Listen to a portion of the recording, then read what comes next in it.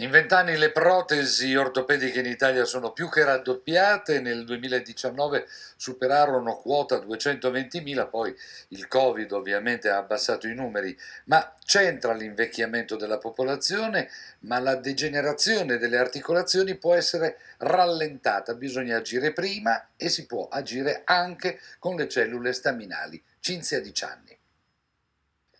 I primi sintomi di artrosi dell'anca o del ginocchio possono comparire verso i 50 anni, soprattutto fra le donne più esposte dopo la menopausa. Prima che il dolore arrivi a limitare la qualità della vita, si può ricorrere alle cellule staminali, impiegate da una decina d'anni in ortopedia per i loro effetti rigenerativi e antinfiammatori. Abbiamo cominciato con le cellule staminali midollari per trattare i problemi vascolari delle teste del femore. La novità è il trattamento delle forme di artrosi, anche nelle, delle forme iniziali di artrosi. Le staminali di origine adiposa, quasi sempre estratte dall'addome, sono più numerose, eh, più concentrate, più efficienti, invecchiano di meno con l'età del paziente e sono sicuramente più facili da prelevare, quindi le concentriamo e le infondiamo nelle articolazioni eh, affette da questi fenomeni artrosici.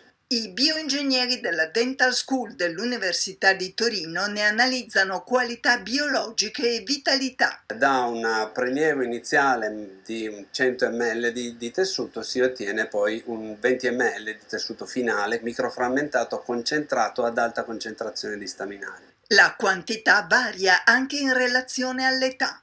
Possiamo ottenere da 100.000 a un milione di staminali per ogni paziente da, da, infondere e abbiamo però visto che in genere i risultati sono buoni anche con concentrazioni abbastanza basse di staminali. I migliori risultati si ottengono su forme iniziali di osteoartrosi non di origine reumatica. Questi pazienti vanno molto bene non solo perché migliorano dal punto di vista clinico, ma perché non evolvono verso delle artrosi più gravi. Si studia l'efficacia del congelamento delle cellule per consentire infusioni ripetute, ma la nuova frontiera sono i secretomi, preziose molecole che contengono vari fattori secreti dalle staminali dall'alto potenziale rigenerativo. Potrebbero essere ricavate da grandi colture cellulari in vitro.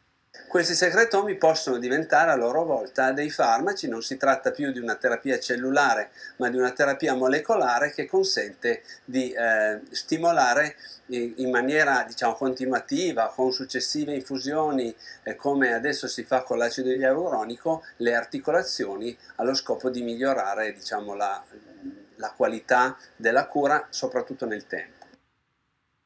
È tutto linea Milano, a Piazza Affari, ci rivediamo domani, grazie per essere stati con noi, buon pomeriggio. Thank